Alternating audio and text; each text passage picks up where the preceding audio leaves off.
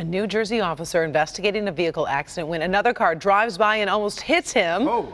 Look at that. Cat like reflexes. He's able to avoid getting hit by the oncoming car. People are now calling this move the cop, drop, and roll. The vehicle, by the way, was later pulled over and the driver was issued a citation. A Louisville family shaken up after a truck slammed into the front of their home. Yeah, the homeowner had just gotten home after work when this happened. Seconds before, the truck also hit a woman's car and totaled it. The driver now in this is a 10-year-old girl who told a police officer she, quote now, wanted to kill people, unquote, and the homeowner actually overheard that conversation. He couldn't believe what she said. You know, he was like, excuse me? And she said, I wanted to kill people. And he said, I'm sorry, what'd you say? And she said, I wanted to kill people.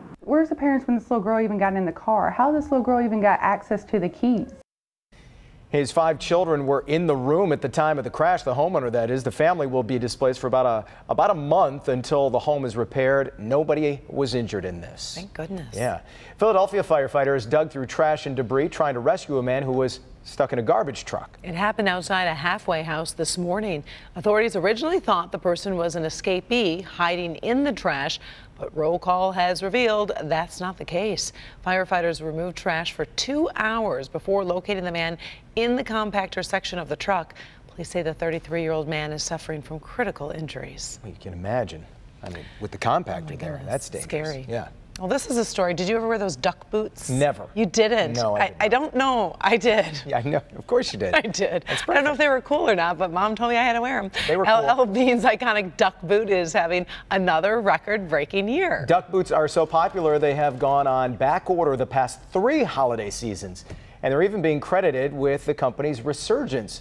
So this season, LL Bean did a little bit more preparation and says it'll have enough to meet the holiday demand. There you go, Karen. You can get your duck boots. The company is projected to sell about 750,000 duck boots this year. That's 100,000 more than last year and nearly three times more than the amount sold in 2012. Yet my kids are asking for UGG boots, not for duck boots. What's old is new. Uh, that's I right. should have kept those boots. And now you could, you could so go on eBay and really pay for Christmas. I know.